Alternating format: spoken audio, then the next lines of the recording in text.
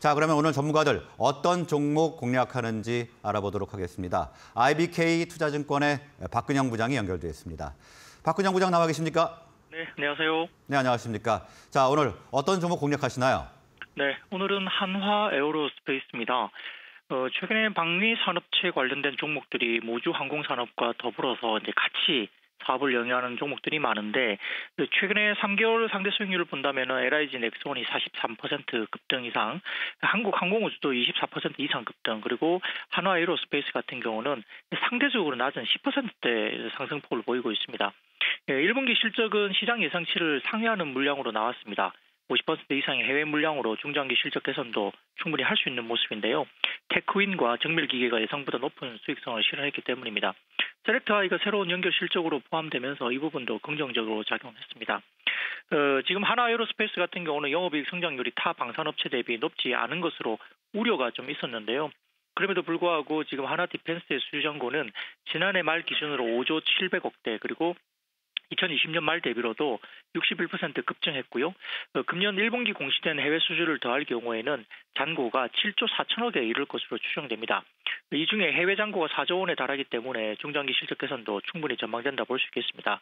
뭐 모두가 아시다시피 지금 러시아와 우크라이나 사태 때문에 각국들이 지금 GDP 대비 높은 국방비 지출을 예상하고 있는 상황이고 어, 여전히 이제 글로벌리 미국 제품을 상당히 선호할 수밖에 없긴 하지만 상당히 비쌉니다. 여기에 따라 국산에 대한 여러 가지 이슈가 있는데 유럽이나 그다음에 중동 이런 부분에서 어, 우리나라 동유럽까지도 어, 한국의 어, 방산 산업체 관련된 장비들을 상당히 선호하는 것으로 알려져 있습니다. 가성비가 높고 퀄리티가 상당히 높기 때문이죠. 여기에 따라서 지금 전반적인 흐름에서는 이 관련된 이 방위산업체 관련된 주가들이 대부분 다 valuation이나 이런 부분들을 상당히 매력적인 구간으로 주가가 좀 올랐음에도 불구하고 실적 단에서 상당히 어, 우수하게 형성되고 있는 성장주로서도 충분히 가능한 모습입니다.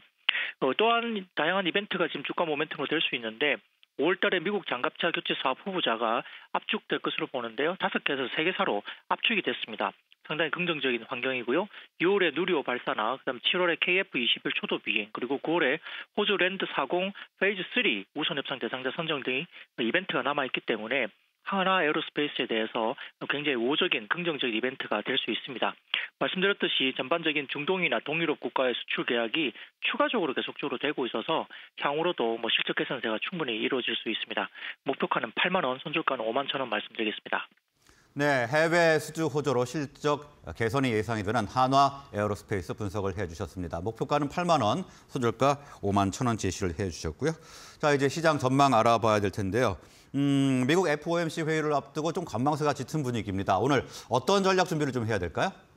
네, 음, 내일 새벽에 FOMC 관련된 기자회견이 예정되어 있기 때문에 뭐 상당히 오늘은 좀 전체적으로 이 부분을 좀 두려워하면서 좀 관망하는 하루가 아닐까 싶습니다. 매매가 뭐 공격적으로 이루어진다기보다는 다소 좀 방어적인 하루가 되지 않을까 싶은데요. 어, 전반적인 흐름은 상당히 이번에 파월 의장의 입에서 어떤 이야기가 나오냐에 따라 극단적으로 양 방향으로 바뀔 수 있습니다. 왜냐하면 5월달에 50bp 정도 인상은 모두가 시장에서 반영을 하고 있는 반면 지금 시장에서는 6월달에 75bp 정도의 주목을 하고 있습니다. 만약 파월 의장의 입에서 75bp 인상이 테이블 위에 있다라는 이야기가 나온다고 하면 상당히 매파적으로 작용이 되면서 주가는 한번 변동성, 하락 변동성을 상당히 키울 가능성이 높고요. 어, 만약에 가능성은 있지만 이번에 6월 달에 그럴 것 같지 않다라고 다소 비둘기파적인 이슈가 나온다면 단기 랠리도 충분히 가능한 상태입니다. 거기다가 지금 QT 즉 양적 완화 관련된 아, 양적 축소 관련된 부분에서 대차지표 축소가 5월에 바로 실행을 할 것인지 아니면 5월에 예상을 하고 6월부터 실행할 것인지 이 심리도 상당히 중요한 또 변수가 될 수 있기 때문에 이 부분도 체크를 하셔야 될 것 같고요. 다소 빠른 5월에 바로 실행했다 이렇게 되면 이것도 매파적으로서 부정적인 영향이 될 수 있습니다만 5월에 어, 발표를 하고 6월부터 실행한다면 다소 좀 점진적인 속도 완화가 될 수 있습니다. 다만 초기 한 350억 달러 정도 수준에서 9월 달에는 어, 최대 한도치인 950억 달러까지 올라간다 봤을 때 속도는 그렇게 늦춰질 것 같지는 않습니다만 전반적인 흐름에서는 어, 이런 부분들이 영향을 미칠 수 있는 부분들은 다음 주도 예상되어 있는 4월 어, CPI 발표입니다. 여기에 따라서 인플레이션 관련된 지표가 또 변동성을 이야기할 수 있는 변수이기 때문에 아마 이번 주 내일하고 그다음에 다음 주 초 정도 되는 CPI 어, 발표까지는 상당히 시장이 변동성이 좀 커질 수 있는 구간이기 때문에 이에 대비한 어, 전략이 필요하다 하겠습니다. 네, 일단 오늘 장은 관망 분위기가 짙을 것으로 예상을 해 주시면서 어, FOMC 회의 후에 파월 의장의 코멘트를 주목할 필요가 있다. 이렇게 말씀을 주셨습니다. 자, 오늘 말씀 여기까지 듣겠습니다. 고맙습니다. 감사합니다. 네, 지금까지 IBK 투자증권의 박근영 부장이었습니다.